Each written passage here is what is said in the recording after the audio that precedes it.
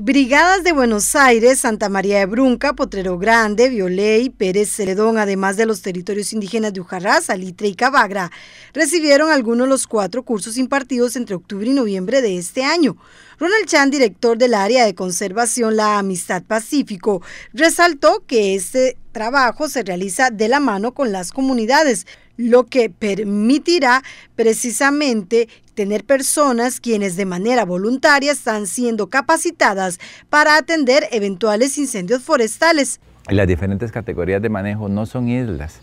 ¿verdad? Sino que tenemos un entorno comunitario y bajo ese entorno comunitario y bajo un enfoque que hemos venido desarrollando casi por 25, 30 años en el área de conservación de lo que hemos denominado responsabilidades compartidas, es que hemos venido desarrollando una gobernanza directamente con los territorios indígenas, con las comunidades aledañas, con las comunidades campesinas que nos permita hacer acciones de manejo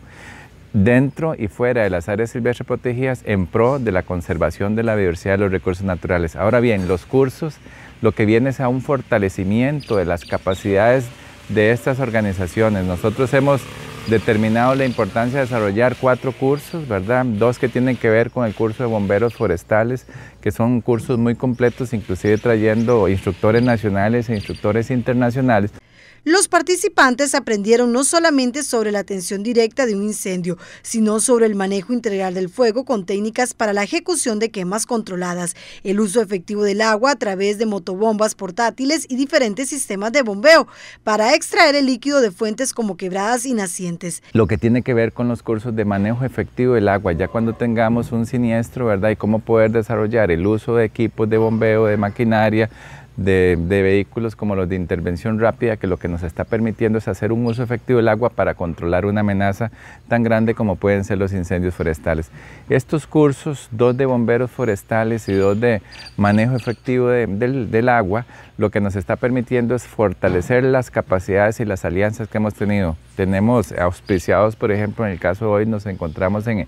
el territorio indígena de Cabagra, que lo que nos está permitiendo es tener una amplia extensión, digamos, de, las, de, las, de las participaciones tanto de las organizaciones del territorio como fuera del territorio, inclusive algunos funcionarios.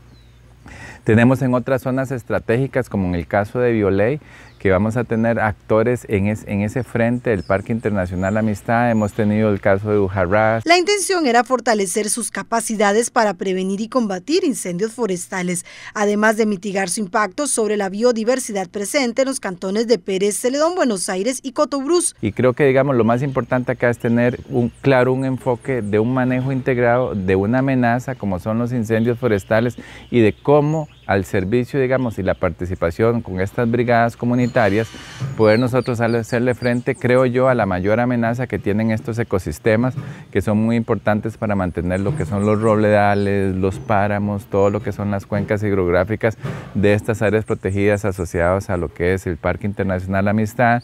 el Parque Nacional Chiripo y otros muy importantes. Estos cursos se llevaron a cabo por la alianza entre el Sistema Nacional de Áreas de Conservación, el proyecto Paisajes Productivos del Programa de las Naciones Unidas para el Desarrollo, personal del área y del Programa Nacional de Manejo Integral de Juego.